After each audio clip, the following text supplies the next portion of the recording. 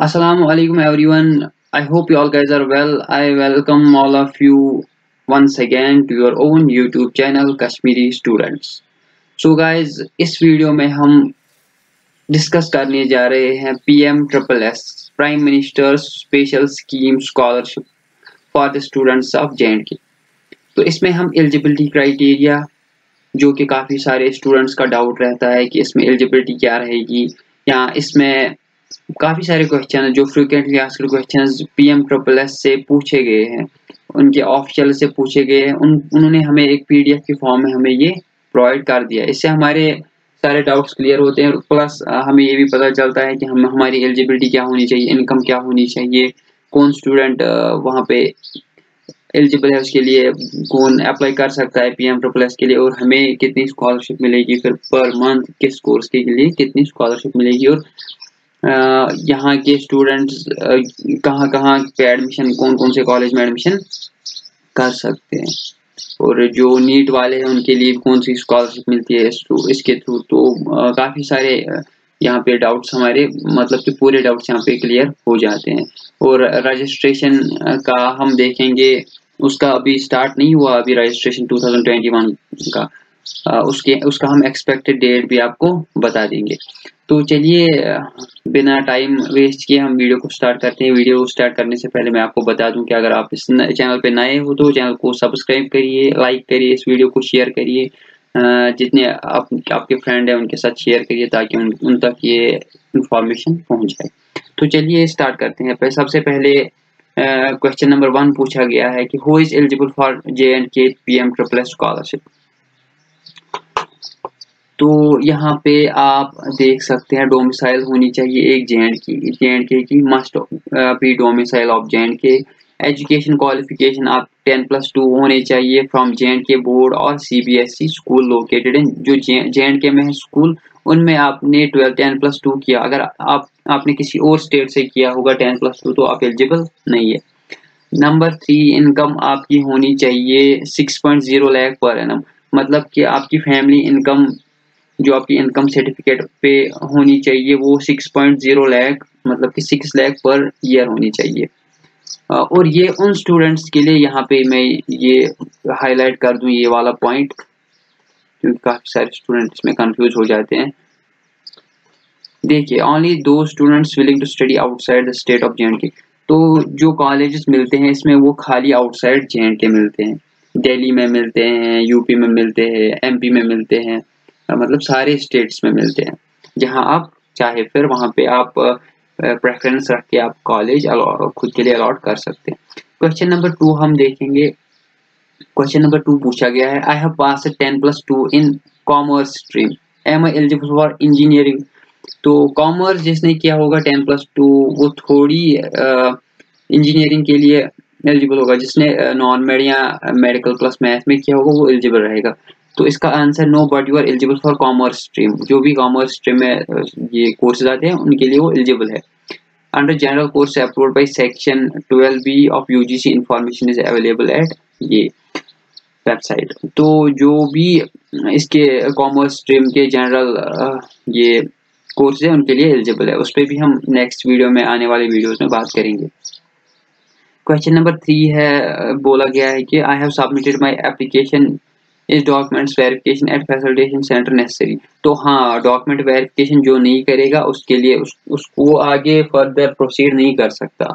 तो आपके लिए फैसिलिटेशन सेंटर जो भी आपका नियरेस्ट कॉलेज और हायर सेकेंडरी और कोई भी जगह ऐसी हो नियरेस्ट प्लेस जहाँ पे आपका फैसिलिटेशन सेंटर रखा गया हो आप वो नेट से बता सकते नेट से देख सकते हो खुद भी कहाँ आपका फैसिलिटेशन सेंटर है तो आप वहाँ पे document verification after online application form जब आप फिल करोगे, उसके बाद फिर आपको डेट मिलेगा आपको ये डॉक्यूमेंट वेरिफिकेशन कब करानी है। तो वो हम उस टाइम आपको इन्फॉर्म कर देंगे। Number four question number four बताया गया है। Is attending counseling mandatory for eligible students for availing benefits under PMSS तो इसका आंसर हाँ आप आप मैंडेटरी है आपके लिए कि आप इसमें क्या है कि आप काउंसलिंग में आपको पार्ट लेना है, फिर आपको कॉलेज मिल सकता है, वरना आपको कॉलेज नहीं मिल सकता है। क्वेश्चन नंबर फाइव बोला गया I have pass ten plus two in science stream am I eligible for medical courses under तो इसका आंसर हाँ है, जो भी मेडिकल स्ट्रीम का जो जिसने नीट दिया हुआ है अगर उन, उसकी सिलेक्शन होगी थ्रू नीट एमबीबीएस में या बीडीएस में या बीएएमएस या बीएचएमएस कोई भी course through NEET outside state but only outside state in state अगर उसकी सिलेक्शन होगी तो वो इस स्कॉलरशिप के लिए एलिजिबल नहीं है। अगर आउटसाइड स्टेट उसकी सिलेक्शन होगी किसी भी कॉलेज में इन कोर्सेज में थ्रू नीट तो उस वो इस स्कॉलरशिप के लिए एलिजिबल है। नंबर नेक्स्ट हम बात करेंगे question number six I wish to pursue my studies in I I T N I T centrally funded institution program courses are on my own without participating in J and K P M triple S counselling process ये year बता दिया I am am I eligible for for J and K P M S scholarship no any candidate इसका answer ये बताया कि no any candidate who six admission in any of the I I T N I T centrally funded program course with in देंशन sanction inter locate outside the state तो इसका answer no बताया गया no बताया गया है कि वो IIT या एनआईटी में थ्रू पी एम पीएमएस नहीं कर सकता।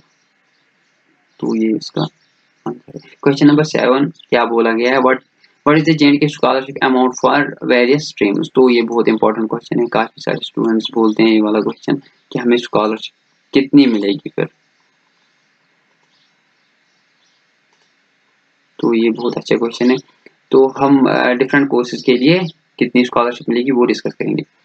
तो स्ट्रीम जनरल डिग्री कोई भी जनरल डिग्री हो, उसके लिए आपको up to thirty thousand up to thirty thousand मिलती है पर एनम प्रोफेशनल डिग्री के लिए like engineering nursing pharmacy H M C T degree के लिए आपको one point two five lakh मिलता है पर एनम और मेडिकल डिग्री के लिए आपको like M B B S B D S B M S या बी एच एम एस के लिए अप टू थ्री लैख मिलता है आपको.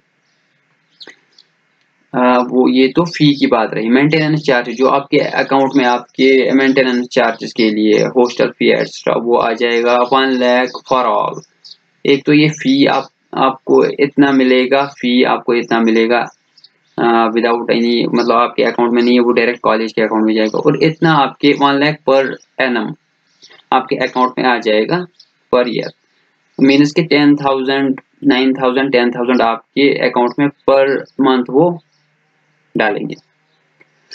तो नंबर ऑफ़ स्कॉलरशिप्स हम देखेंगे। जनरल डिग्री के लिए 500 स्कॉलरशिप्स है। और प्रोफेशनल डिग्री के लिए 2830 और मेडिकल डिग्री के लिए 100 स्कॉलरशिप तो ये दो, एक दो साल पहले का लिस्ट है बट इस साल आई थिंक 5000 प्लस स्कॉलरशिप्स है इसमें। फाइव थाउज़ेंड प्लस तो इस साल काफ़ी सारे सारे सीट्स इंक्रीज हुए हैं। Uh, number question number eight. Am i eligible candidate for jnk pm police? How can i apply for uh, registration for of this course तो अभी रजिस्ट्रेशन आनी बाकी है। तो जब स्टार्ट uh, होगा डेट तो मैं आपको बता दूँगा। इस Aadhaar card mandatory document for Aadhaar card mandatory नहीं है ऑनलाइन रजिस्ट्रेशन के लिए बट आपको चाहिए कि आधार कार्ड आपको क्योंकि वो फिर बाद में काम आता है। आधार कार्ड बहुत इंपॉर्टेंट डॉक्यूमेंट माना जाता है बाद में एडमिशन के बाद। विच फॉर्मेट और size photo signature upload website तो अभी ये आना बाकी है। तो अगर आप में से किसी स्टूडेंट को और और कोई डाउट है तो वो मुझे बता दे। तो डॉक्यूमेंट वेरिफिकेशन के लिए आपको ओरिजिनल डॉक्यूमेंट्स ले जाने। कंपलसरी कंपलसरी नहीं, आप फ़ोटो कॉपी भी वहाँ पे दे सकते हो। तो ये रहे डाउट्स जो थे इनमें से सबसे इम्पोर्टेंट ये स्कॉलरशिप अमाउंट और कितनी स्कॉलरशिप मिल ये सीट्स है पर पोस्ट तो अगर आपको ये वीडियो अच्छी लगी हो तो इस वीडियो को लाइक करिए और अगर आपके मन में और कोई डाउट है तो कमेंट बॉक्स में मुझे ज़रूर पूछिएगा. Thank you for watching this video